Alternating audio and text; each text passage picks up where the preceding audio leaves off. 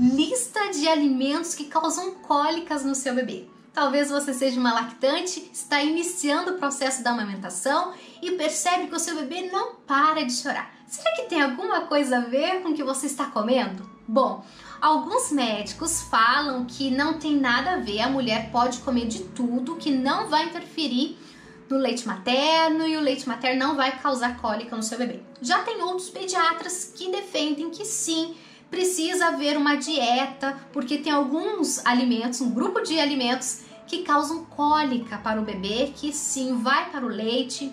Eles até falam que o intestino do bebê, quando ele nasce, não está totalmente maduro para receber algumas substâncias que no leite materno, né, quando você come algum certo alimento, vai estar. Então, por isso eles fizeram uma lista de alimentos suspeitos que poderão causar cólica no seu bebê. E aí, qual é essa lista? Eu separei aqui essa lista e eu quero apresentar para você nesse vídeo. Então já conta aqui embaixo com seu like lindo e já escreva aqui embaixo nos comentários. Estou aqui.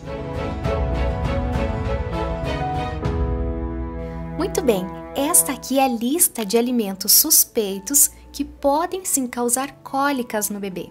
Em primeiro lugar ficou o leite de vaca, sorvete à base de leite ou até mesmo milkshake. Número 2, chocolate. Número 3, soja, lentilha, ervilha até mesmo feijão. 4, couve, repolho e brócolis. 5, a carne vermelha. 6, temperos artificiais, como por exemplo sazon. Em sétimo lugar ficou o refrigerante e o café.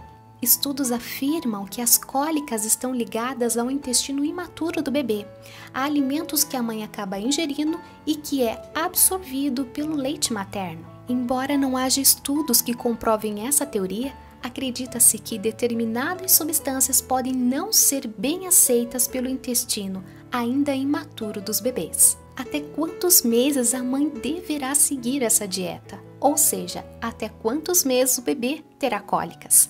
As cólicas no bebê poderão durar por até 5 meses de idade, pois já no sexto mês o seu intestino já estará maduro o suficiente para estar recebendo até alimentos sólidos. Muito bem, eu espero que tenha te ajudado aqui através dessa listinha. Já compartilhe essa lista e também escreva nos comentários se o seu bebê está tendo cólica, se tem alguma coisa a ver, o que, que você acredita, o que, que o seu pediatra falou para você, tá bom? Vamos nos interagir. Escreva para mim aqui embaixo nos comentários. Agora eu quero dar uma olhadinha ali, vou encerrando esse vídeo, eu quero dar uma olhadinha no seu comentário. Quero que você deixe para mim também uma sugestão de vídeo que você queira que eu grave, porque esse vídeo foi uma sugestão de vídeo que eu li aqui nos comentários de uma seguidora, ok? Vou ficando por aqui nesse vídeo, eu conto aqui embaixo com o seu like, ok? Não esqueça! E eu te encontro no próximo vídeo. Até lá!